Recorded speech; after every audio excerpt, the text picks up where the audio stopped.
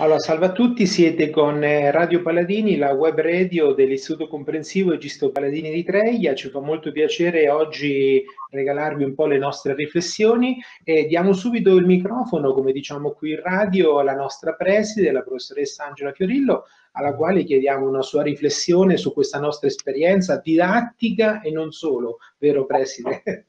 Sì, effettivamente è proprio così. Buonasera a tutti. La Radio Paladini è un'occasione per confrontarsi, per parlare, per scambiarsi tante informazioni. È una delle attività che sono state introdotte per eh, accompagnare la didattica a distanza. È diventato appunto un modo per eh, coinvolgere studenti, alunni di tutti gli ordini di scuola, docenti, ma non solo, famiglie, ma anche altre persone, amici, eh, persone eh, della della, comunità, della comunità di Treia, del territorio, il vice sindaco e, altri, e altre persone. E, ehm, e, quindi una serie di ospiti che nelle varie puntate si susseguono e intervengono su tante tematiche.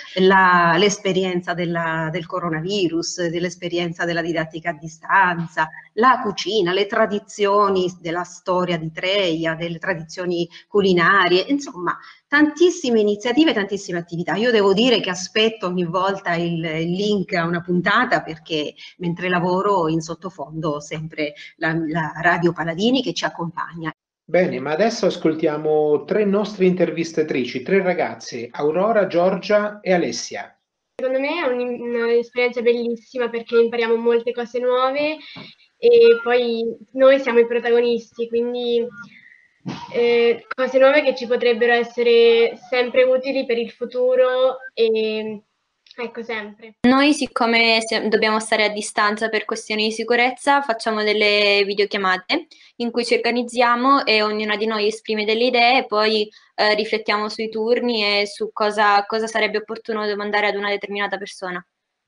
Esperienza bellissima e unica perché non so quando mi potrebbe ricapitare di fare queste cose, quindi è molto bello. Ho imparato ad esprimermi con tutti, a parlare senza aver paura e soprattutto ho imparato a conoscere nuove persone, magari anche nuovi mestieri.